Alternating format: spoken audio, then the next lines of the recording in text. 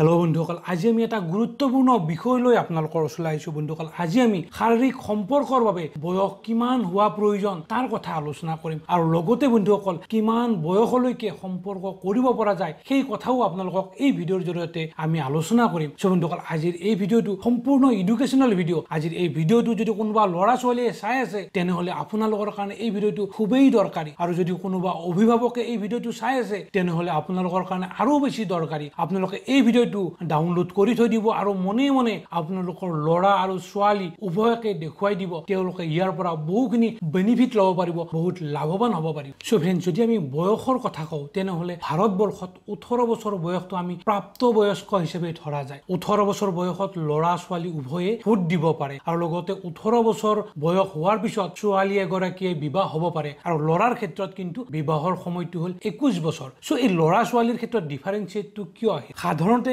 Main কথা হ'ল যে ছোৱালী এগৰাকী দহৰ পৰা তেৰ বছৰ বয়সৰ ভিতৰতে এগৰাকী মহিলালৈ ৰূপান্তৰিত হয়। অৰ্থাৎ দহৰ পৰা তেৰ বছৰ ভিতৰৰ এই সময়খিনিত মহিলাগৰাকীৰ অৰ্থাৎ ছোৱালীগৰাকীৰ শাৰীৰিক গঠন চেঞ্জ হৈ যায়।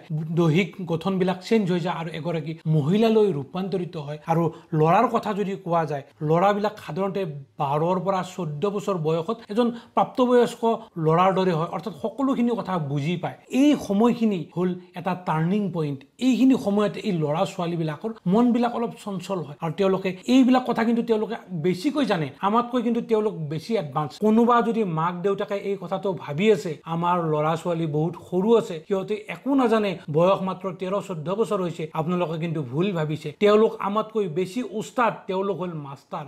আজিৰ যুগটো হৈছে মোবাইলৰ যুগ। ফেচবুক ইনষ্টাগ্ৰাম ইউটিউব গুগল এই সকলোবিলাক বস্তু যি বিচাৰে সকলোবিলাক পাই যায়। তেওঁলোকে সকলোবিলাক বস্তু খুব ভালকৈ জানে। অৰ্থাৎ আমাতকৈ তেওঁলোক বেছি মাষ্টাৰ। যদি কোনোবাই ভাবি আছে আমাৰ ল'ৰা ছোৱালী সৰু হৈ আছে একো নাজানে ন তেওঁলোকে আমাতকৈ বেছি জানে।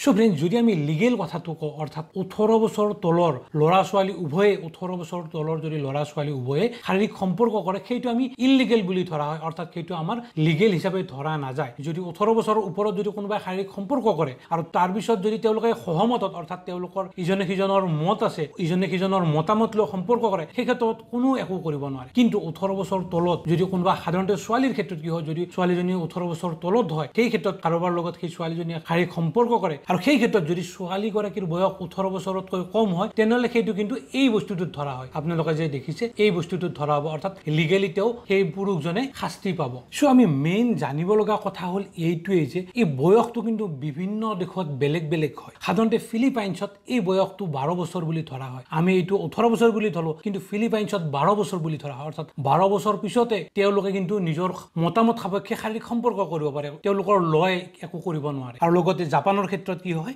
জাপানৰ ক্ষেত্ৰত তেৰ বছৰ ধৰা হয় আৰু ব্ৰাজিল চাইনা ইটালী এইবিলাক দেশত চৈধ্য বছৰ বুলি ধৰা হয়। চৈধ্য বছৰ পিছতে তেওঁলোকে শাৰীৰিক সম্পৰ্ক কৰিব পাৰিব ইজনে সিজনৰ যদি মত থাকে কোনেও একো কৰিব নোৱাৰে। আৰু আমাৰ ভাৰতবৰ্ষৰ ক্ষেত্ৰত এইটো ওঠৰ বছৰ বুলি ধৰা হয়। আৰু বিভিন্ন দেশত এই বস্তুটো কিন্তু বেলেগ বেলেগ। চ' কোনোবা অভিভাৱকে যদি ভাবে আমাৰ ল'ৰাৰ ওঠৰ বছৰ হোৱা নাই আমাৰ ল'ৰা সৰু আছে কিন্তু নহয়। আমাৰ যিটো ল আছে লহে এই বয়সটো ধৰি দিছে যে ওঠৰ বছৰ পিছতহে তেওঁলোক প্ৰাপ্তবয়স্ক। কিন্তু বাৰ তেৰ বছৰ বয়সতে কিন্তু আমাৰ এই ল'ৰা ছোৱালীবিলাক ডাঙৰ হৈ যায় তেওঁলোকৰ মনবিলাক পূৰত হৈ যায় তেওঁলোকৰ ব্ৰেইন পূৰত হৈ যায়।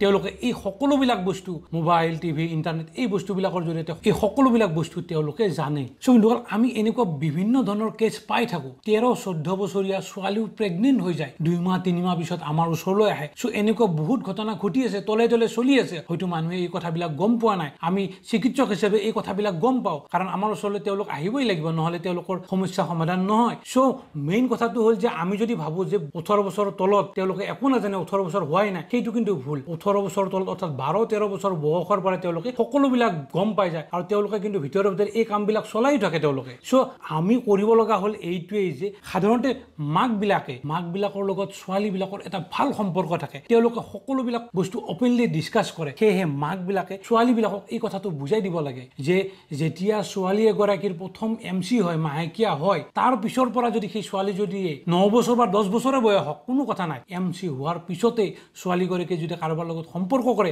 ছোৱালীগৰাকী কিন্তু প্ৰেগনেণ্ট হৈ যাব। আৰু মাকে এই কথাটোও বুজাই দিব লাগে যে দুই মাহ পাৰ হোৱাৰ পিছত যদি কাৰোবাৰ লগত সম্পৰ্ক কৰে প্ৰেগনেণ্ট হৈ যায় দুই মাহ পিছৰ পৰা বেলেগ মানুহে কিন্তু গম পাই যাব। কাৰণ তেওঁলোকে লুকাই ৰাখিলেও সেই ছোৱালীজনীৰ পেটটো কিন্তু বেলেগক লুকাই ৰাখিব নোৱাৰে। দুই মাহৰ পিছত পেটটো ডাঙৰ হৈ হৈ যাব গতিকে বেলেগে গম পাবই পাব। চ' ছোৱালীবিলাকক মাকবিলাকে এই কথাবিলাক সম্পূৰ্ণকৈ বুজাই দিব লাগে। আৰু মাকবিলাকে এই কথাটো বুজাই দিব লাগে যে সেই ছোৱালীজনী সেই ল'ৰাটোৰ লগত যাৰ লগত সম্পৰ্ক কৰিছে সেই ল'ৰাটোৰ লগতেই যে বিয়া হ'ব তাৰ কোনো কোনো নিশ্চয়তা নাই। কিন্তু যদি সেই ছোৱালীজনীয়ে বেলেগ এখনত ঘৰত যাব লগা হয় যদি সেই ছোৱালীজনীয়ে বেছিকৈ সম্পৰ্ক কৰিছে সেই ল'ৰাজনে যাৰ লগত বিবাহ হৈ গৈছে সেই ল'ৰাজনে কিন্তু গম পাই যাব যদি চ' মাকবিলাকে ছোৱালীবিলাকক এই কথাবিলাক বুজাই দিব লাগে। বন্ধুসকল এই ৱেষ্টাৰ্ণ কাণ্ট্ৰিবিলাকত ছোৱালীবিলাক যেতিয়া উইকেণ্ডত ছোৱালীবিলাক যেতিয়া ফুৰিবলৈ যাব মাকে কি কৰে ৰাতিপুৱা যেতিয়া সিহঁত বাহিৰত ওলাই যাব ওলাব গাখীৰ লগত মনে মনে O' C P oral contraceptive pill সেই ছোৱালীবিলাকক খুৱাই দিয়ে মাকবিলাকে। কাৰণ মাকবিলাকে জানে সিহঁতে উইকেণ্ডত বাহিৰত যাব ঘটমুটো নিশ্চয় কৰিব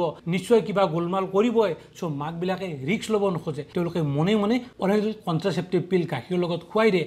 আৰু মাকবিলাকে কি হয় যে দিনটোৰ কাৰণে আৰু আমাৰ টেনশ্যন নাই ইহঁতে যি কৰে কৰক। চ' ফ্ৰেণ্ডছ মই ৱেষ্টাৰ্ণ কাণ্ট্ৰিৰ উদাহৰণ এইকাৰণেই দিছোঁ যে ৱেষ্টাৰ্ণ কাণ্ট্ৰিৰ লগত আমাৰ ভাৰতবৰ্ষৰ কিমান এটা মিল নাথাকে। যদিও ফিফটি পাৰ্চেণ্ট মিল আছে আজিকালি প্ৰায় ৱেষ্টাৰ্ণ কাণ্ট্ৰিৰ দৰেই হৈ গৈছে। চ' মাকবিলাকে এই ক্ষেত্ৰত অলপ সাৱধান হ'ব লাগে। মাকবিলাকে বিশেষকৈ ছোৱালীৰ ক্ষেত্ৰত অকণমান নজৰ দিব লাগে। চ' ফ্ৰেণ্ডছ যদিও আমি অসমৰ কথা কওঁ অসমৰ এনেকুৱা বিভিন্ন ঠাই আছে য'ত বাৰ তেৰ বছৰ চৈধ্য বছৰ পোন্ধৰ বছৰ বয়সতে বিয়া হৈ আছে। চ' তেওঁলোকে বিয়া হৈ আছে আৰু তেওঁলোকৰ সতি সন্ততি জন্ম পাই আছে। চ' এই ক্ষেত্ৰত এটা কথা কি হয় সোনকালে যেতিয়া বিবাহ হয় ল'ৰা ছোৱালীৰ সংখ্যা কিন্তু বাঢ়ি যায়। তাৰ কাৰণ এইটোৱে যে চ' ফ্ৰেণ্ডছ মই এইবিলাক কথা লুকাই ৰাখিব নিবিচাৰোঁ। মই সকলোবিলাক কথা অপেনলি ক'ব বিচাৰোঁ যাতে মানুহে বুজি পায়। সোনকালে অৰ্থাৎ পোন্ধৰ ষোল্ল বছৰ বয়সত বিবাহ হ'লে কি হয় তেওঁলোকে সেই কথাটো গম নাপায় যে কিবা প্ৰটেকশ্যন ল'ব লাগে নে কি যেতিয়া তেওঁলোকে পাৰ্টনাৰৰ লগ পাব তেওঁলোকে সম্পৰ্ক কৰি পেলায় আৰু তেওঁলোকৰ সন্তান জন্ম হৈ থাকে। কাৰণ এইখিনি সময়ত মিলন কৰিলে এক্সট্ৰা এটা জুতি পায় যাৰ কাৰণে তেওঁলোকে গমেই নাপায় যে কিবা প্ৰটেকশ্যন ল'ব লাগিব যে তেওঁলোকৰ সতি সন্ততি বাঢ়ি গ'লে তেওঁলোকৰ সমস্যা হ'ব। এই কথাটো তেওঁলোকে গমেই নাপায়। কাৰণ তেৰ চৈধ্য বছৰ বয়সত এইখিনি সময়ত সেই ছোৱালীজনীৰ ব্ৰেইনটো ইমান ডেভেলপ নহয়। গতিকে তেওঁলোকে গমেই নাপায় যে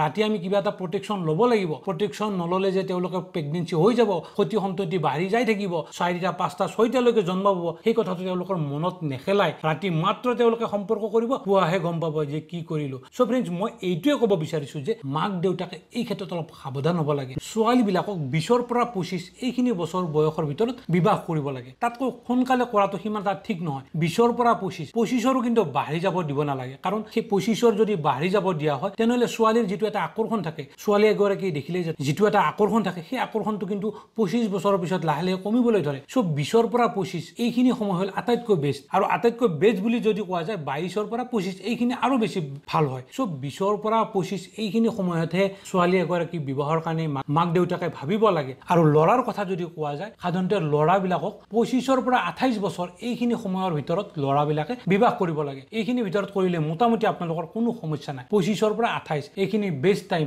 আপোনালোকে সকলোখিনি পাব এইখিনি সময়ত। কিন্তু ত্ৰিছ বছৰ বয়সৰ পিছত যদি আপোনালোকে বিবাহ কৰে তেতিয়াও আপোনালোকৰ কিছু সমস্যা হ'ব পাৰে কিন্তু তেনেকুৱা কোনো সমস্যা নহয়। ফিজিকেল তেনেকুৱা কোনো প্ৰব্লেম নাথাকে। কিন্তু বেষ্ট সময় যদি কোৱা যায় পঁচিছৰ পৰা আঠাইছ বছৰ এইখিনি ল'ৰাবিলাকৰ কাৰণে বেষ্ট টাইম আৰু ছোৱালীবিলাকৰ কাৰণে বিছৰ পৰা পঁচিছ এইখিনি আটাইতকৈ বেষ্ট টাইম চ' মাক দেউতাকে এই বস্তুবিলাক ত্যাগ কৰি দিব লাগে। আৰু বন্ধুসকল মই সেই কথাটো যদি কওঁ যে কিমান বছৰ বয়সলৈকে সম্পৰ্ক কৰিব পাৰে তেনেকুৱা কোনো কিন্তু লিমিট নাই। বিশেষকৈ পুৰুষৰ ক্ষেত্ৰত মৃত্যুৰ আগমুহূৰ্তলৈকে তেওঁলোকে সম্পৰ্ক কৰি থাকিব পাৰে। সেইখিনি পুৰুষৰ গাত শক্তি থাকে। সাধাৰণতে বয়স যোৱাৰ লগে লগে পুৰুষৰ কিন্তু সেই ইচ্ছাবিলাক লাহে লাহে কমি আহে। এইটো হ'লে এটা মেডিকেল ফেক্ট কাৰণ বয়স যোৱাৰ লগে লগে আমাৰ শৰীৰৰ যিবিলাক হৰমন আছে হৰমনবিলাক লাহে লাহে কমিবলৈ ধৰে যাৰ কাৰণে মানুহবিলাকৰ সেই ইচ্ছাবিলাকো কমিবলৈ ধৰে। চ' এইটোৱে হ'ল ডাঙৰ কথা যে পুৰুষে মৃত্যুৰ আগমুহূৰ্তলৈকে সম্পৰ্ক কৰিব পাৰে। চ' ফ্ৰেণ্ডছ আপোনালোকে এই কথাখিনি নিশ্চয় বুজি পালে যে শাৰীৰিক সম্পৰ্কৰ বাবে বয়স কিমান হোৱা প্ৰয়োজন। বয়স আপোনালোকৰ বাৰ বছৰ তেৰ বছৰতো মিলন কৰিব পাৰে কিন্তু এই ক্ষেত্ৰত সমস্যা আছে। আপোনালোকে এইবিলাক হ'ল ইললিগেল আমাৰ ভাৰতৰ কাৰণে এইটো ইললিগেল বেলেগ দেশৰ কাৰণে এইটো লিগেল হ'ব পাৰে। কাৰণ বেলেগ দেশত বাৰ বছৰ তেৰ বছৰলৈকে সেইটো লিগেল বুলি ধৰা হয়। আমাৰ ভাৰতবৰ্ষত এইটো ওঠৰ বছৰ ধৰা হয়। এইটো ইললিগেল হ'লেও কিন্তু বাৰ বছৰ তেৰ বছৰ চৈধ্য বছৰ পোন্ধৰ বছৰ বয়সতো ছোৱালী কিন্তু বিবাহ হৈ আছে। চ' বন্ধুসকল মই এইটোৱে ক'ব খুজিছোঁ যে শাৰীৰিক সম্পৰ্কৰ বাবে বয়সৰ প্ৰয়োজন আছে আৰু বয়সৰ প্ৰয়োজন কোনটো সেইটো মই আপোনালোকক ক'লো যে ছোৱালীবিলাকৰ বিছৰ পৰা পঁচিছ এইখিনি বেষ্ট টাইম আৰু ল'ৰাবিলাকৰ বাইছৰ পৰা আঠাইছ বছৰ এইখিনি বেষ্ট টাইম চ' ফ্ৰেণ্ডছ যদি আজিৰ এই ভিডিঅ'টো আপোনালোকৰ ভাল লাগিছে যদি এই ভিডিঅ'টোৰ পৰা আপোনালোকে কিবা অলপ শিকা বুলি ভাবিছে তেনেহ'লে এই ভিডিঅ'টো ভিডিঅ'টোত এটা লাইক কৰি দিব আৰু যদি আপোনালোকে আমাৰ এই চেনেল এতিয়ালৈকে ছাবস্ক্ৰাইব কৰা নাই তেনেহ'লে এতিয়াই ছাবস্ক্ৰাইব কৰি দিব। কাৰণ মই এনেকুৱা ধৰণৰ মেডিকেল ইনফৰমেশ্যন আপোনালোকক সদায় দি থাকোঁ। চ' ফ্ৰেণ্ডছ আজিলৈ ইমানে ধন্যবাদ।